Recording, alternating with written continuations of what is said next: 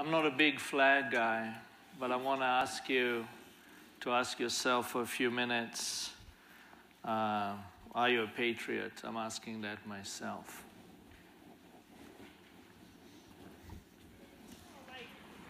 They just chased, the girl and shot her 12 times. Yeah, they just chased chased girl out west. Gotta let him go. I never stand man. I just want my nephew. I just want my nephew since they was down here with him. That's all I want is my nephew. Okay, what's your nephew? I just want my nephew. No, my nephew is down here. He can't record nothing, my nephew. And I ain't involved in nothing.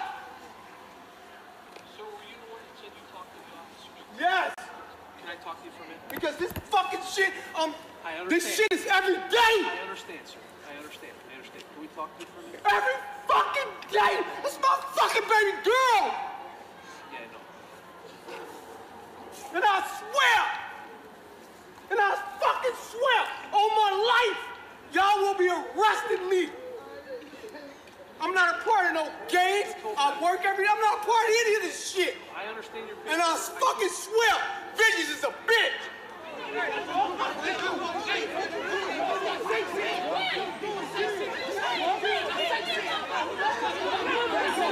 Where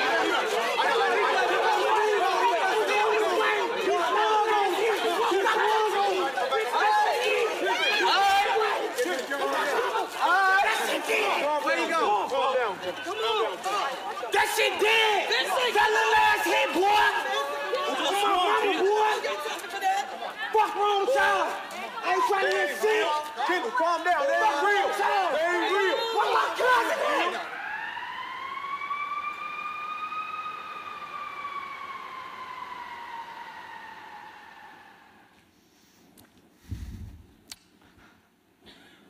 This is from this weekend, south side of Chicago, photographed by a Korean American friend of mine, John Kim, Pulitzer Prize winning photographer for Chicago Tribune. We're very divided about this video, all of us. We're judgmental. He's, he promises revenge among us and our comfort, we talk about innovation, etc. There's another America. It's the oldest problem. That's why I always say I'm not an innovator, I'm an archaeologist. Why are we so divided? Why is it that people in Chicago, which is an amazing city, if you love restaurants and museums, etc., a big chunk of our city, nightly. I took a flight yesterday to Providence. I was woken up at 5 information starts coming through my cell phone, through text. I show up on a scene in Austin, west side of Chicago, a dead body. Turns out that person was shot in July, and now he's dead. He's covered yellow tapes and cops. We often uh, we're divided about Black Lives Matter or All Lives Matter or cop Blue Lives Matter. Cops have a tough job. They handle themselves well at that moment. But the trauma uh, of African Americans in our society, especially 762 homicides last year in Chicago, 80% black. It's not a Chicago problem. It's not someone looking like me problem. I walk into great restaurants and I enjoy great life. And yet, it is because of us. It is connected to Charleston. It is connected to white supremacy. We can't get away from it. I can bring models to Chicago. I can work and build, bridges. I'm very good finger in the dike. In Boston, I participated with the team that went from 152 homicides to 31. Last year in Providence, the institute that I helped found under PJ's leadership, he's somewhere here. First year I didn't lead it, had zero gang homicides for the first time in the history of this city. She's great.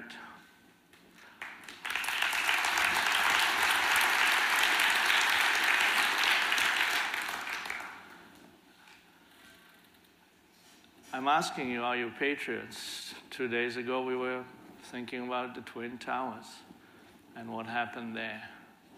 But do we think of them as our people? Honestly, do we? That grief and anger that people absorbing every day, are they our people? Are they Americans to us? Are we rationalizing the revenge and why are they shooting each other? And we don't really see how it is that we have caused those environments, and we're not willing to put the resources to change that. And often, and I'll jump around a bit because it's my style, we find scapegoats too. We're liberals. I, I'm a liberal. I'm not assuming you're liberal. This election, it was West Virginia's fault. Got news for you. Whites all around the country elected Trump. All right, watched, uh, read Ta-Nehisi Coates, current issue of The Atlantic. Let's not hide behind West Virginians, poor whites. They're part of our country too, and we need to reach out to them too. And nonviolence is often looked at as an additive, something you take as a choice, you know, one of those classes, elective. It is going to destroy us if we don't take it more seriously and start working on it. So, what are we doing in Chicago? I know Chicago for a long time. There's really no pure model in this country. Bless you. Just like Darwin worked within an environment and innovators, at his time he wasn't the only person who worked on evolution, just like with computers, wasn't just Steve Jobs. In our field, we borrow and steal from each other, we teach and we learn. So there is, people will claim it's a public health model, this and there are no pure models we keep. So I've had re- relationships since 99 with, with Chicago when they visited our work in Boston. But I was pushed hard four years ago, three years ago, to move to Chicago. And it was a very difficult decision, uh, particularly since my two boys are here in Providence. Um, and I moved in October of 2015. It's, it's important because October 2015 now seems like a great time. A month later, Laquan McDonald's video was released, a young man who was shot 16 times by an officer. And when that video was released, he was killed a year before by order of a judge. The city went into paralysis. The police, somewhere between 80 to 90% drops in stops. You had the Ferguson effect, people are talking, which is a controversial term and I won't have time to get into it here. But suddenly there's huge drop in, and what was bad in a city who didn't reform itself, unlike Boston, Providence, New York, and LA, this major city never reformed itself fully. Things got really bad and really fast. So I was asked to build an organization, the Institute for Nonviolence Chicago, that will ultimately work in three neighborhoods and take your time. Three years, you don't have to fundraise, and everything will be great. They promised my board here that I can leave and I'll be in good hands. And months after I landed all bets were off. There was no one to talk to. The city went into paralysis. I left my organization that I built. I left life behind. So you talked about loneliness, etc. Oh yeah, and also, I turned 50 in December 26 of that year. I was looking forward to book a club here and celebrate with my friend, kind of a nice goodbye. Instead, I had a pretty lonely dinner just with my family, and I thought, what did I do? Um, it was a very tough winter with no one ready to talk to. And what I did is I went around 10 neighborhoods looking which one will I choose to start at. But basically, the grounds completely were shifting. Anger, the commissioner was fired, uh, who is someone who knew me from Newark and New York. Things changed drastically. We walked into neighborhoods, we did community sessions and hearings. We brought friends from LA, and we did community hearings. We did meetings in the community. We, did, we met with outreach workers, we met with gang members, we met with cops, we met with patrol people, we met with activists, politicians. And a lot of people were with me were turned feeling kind of bad because, like, who are you? You're a white guy from the East Coast, and why you? And what are you doing here? Are you going to be at university doing two years studying us and then leave? Some people around me were offended how I'm being treated. I'm not some expert, and I should be treated like that. I told them months later that if you didn't ask me those questions, I would have thought you have no pulse. A lot of those people were really challenging me, coming me, and rightfully so. ended up being allies and working now at the Institute, but they had to check me out, and that is a fair process. People have been experimented along for too long. They want to know what you are about, what are you going to do. In about a year and a half, I probably did 500 one on ones, and I continue to do that. It's important. If you're going to build something, you're coming into other people's territory, you're coming into other people's thoughts and belief. You're not just implementing a model. So, since then, last year in July, we launched the first outreach team in Austin, which was the most violent uh, neighborhood in uh, Chicago as well as the most amount of people coming back from jail, twice the rate of other neighborhoods. Um, we added in victim services. We built up a training department. Providence and LA came to train our staff in nonviolence and outreach and police protocols. How do you act with that?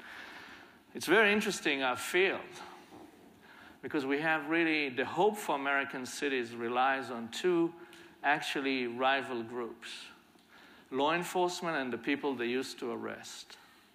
Former gang members. One of our staff members was on death row.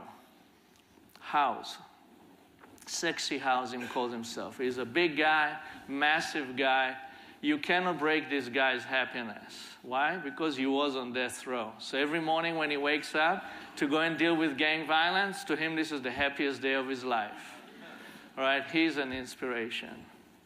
Uh, you have Lisa, who recruited herself to be a COO. She was a prosecutor who realized that prosecuting people was getting us nowhere.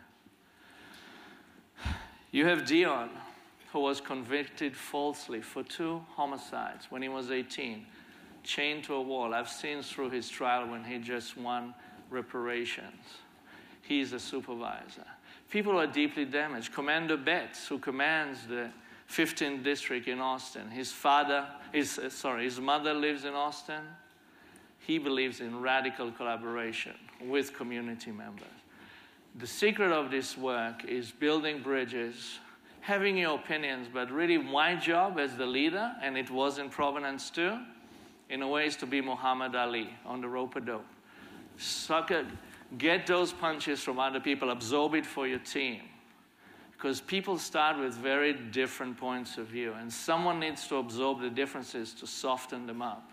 Whether it's your team, whether it's the cops talking about our guys, our guys talking about the cops, people suspicious of the University of Chicago researchers, whoever it is, to keep bringing them closer and closer.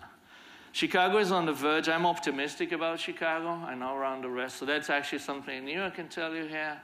Um, Chicago is the national news now. I think actually elected Trump. It helped elect him uh, because it is Obama's city. Rahm Emanuel was the chief of staff. It is the dysfunction as far as Republicans were concerned about liberals and African Americans. So it was a great place to run on. Um, but after a year or so, 28 funders came together, two initiatives, run around jobs and cognitive behavior. Another one is around beefing up these collaborative models. We have launched Partners and Us, it's another thing we had to adapt. One thing I said to myself when I moved to Chicago I'm not coming to put and impose a dominant model on a city. It's not my place, it's disrespectful of a big city. Luckily, uh, Sal, who is listening, is uh, at the Institute in Providence, a nonviolence trainer, always told me eight years ago, gave me a great gift on a drive back from Little Compton. He says, Teny, you have a big ego. And that was a really great gift he gave me to remind myself and keep it at check. People who came with big models, etc., in Chicago failed. And there were quite a few before. So the model that we are working together now is really a, working a radical collaboration with others and learn from each other and keep each other working together. Uh, and that's sort of my role, um, is to listen, see the grievances. We are collaborating eight organizations with two very big ones 28 funders, uh, eight or nine police districts, so there's a lot of moving pieces. Uh, I had to ask myself again and again, and very often at night alone in Chicago will I fail? Can I fail? And I kind of smile sometimes in conferences like that. We talk about successes and risks. I really feel now, I felt when I came to Rhode Island, I had Sister Ann and Father Ray and others, I felt I always had a real back. In Chicago, my back is to the wall in many ways. I can fail. I can end up with nothing. But that's okay. You've got to let go. Someone else talked here about letting go of control. Um, I think that I'm a bit lost at the moment um, on a point. Uh, forgive me. Um,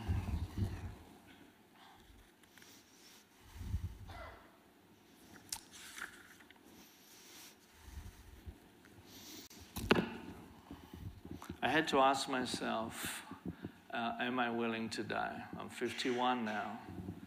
Uh, it almost happened in Israel. It almost happened in Boston once. It almost happened in Providence, in Ellery Park. And I'm 51. I've done a lot. I can really try and keep from the distance, but but the team needs to know if you respect their lives, you're willing to be with them. In fact, one of our supervisors told us CEO, we need to introduce some fear to Teny because he's taking risks.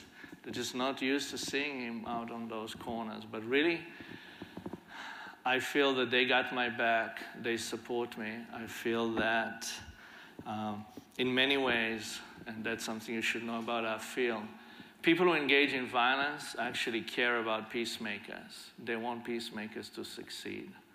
Um, they see the pain, they're caught in it. Uh, and one of the beautiful things we're able to convince in those two big initiatives is, which is something I learned here in Providence especially, we've built into our grants and a big project with our collaboration that our young people might have 9 to 13 setback. It happens in domestic violence, it happens in drug addiction. You cannot just take a group of young people and say, you have a new life at Moses Brown at a private school. It just doesn't happen that way.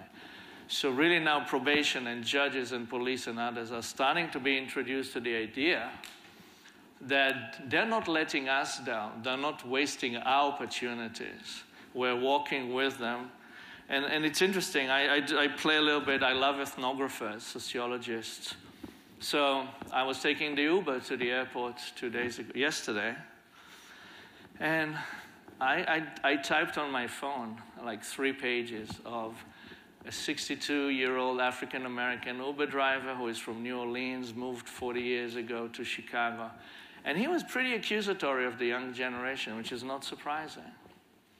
And partially, I'm sitting in the back, and I have privilege. I had to give him the license to talk about race. He didn't mention the word race once, 40 minutes ride, right? So a lot of the blame was of young people's, and I very gently asked him, after I let him speak, and I just typed I said to him, Is there anything that is not their fault? Uh, you know, they're not waking up to work, they are jobs, da da da da da da da. It's really the, the, the, all that it goes in us. Those things, those stories are important because that goes through our minds. Right? When we say someone is not making an effort, we don't need to invest. It is their fault, we will build jails. Not to mention that when I speak with the business community in Chicago, and in November, there was a new building license was taken out on to build a building that is a billion dollar building. Right? Jeanne Gang, she's the most famous woman architect in the world, is building buildings like crazy. In Abu Dhabi and in Chicago, there's wealth. But I'm, when I meet with uh, business community and the leadership, I tell them I'm really disappointed with your lack of imagination. Chicago could have a GDP that is five times what it is. We're all paying for the fact that downtown is one of the most greatest places there is. And you go to other neighborhoods, you have so many boarded up buildings. And finally, I'll touch, it says wrap up. If we succeed, and I hope we will, we have in other places, we will need to think about gentrification. It's not over. When you are a minority and in a poor neighborhood, you live under violence and trauma but if we succeed and you actually live in peace, the seven good years in Joseph's dream would then push you out. In the last 10 years, 200,000 African Americans left Chicago. 200,000, it's a significant number. We're closing down the schools. We're eliminating the civil things that help build our young people. And I'm sorry, this is not on this young man who just wants revenge. uh, he's left almost with no option. The fact that he's screaming it so loud, I don't think he will take revenge. But he's telling us the frustration and the pain, which I hope stays with us, that we're designing those pressures that are unbearable. And I'm here just as a witness. Thank you.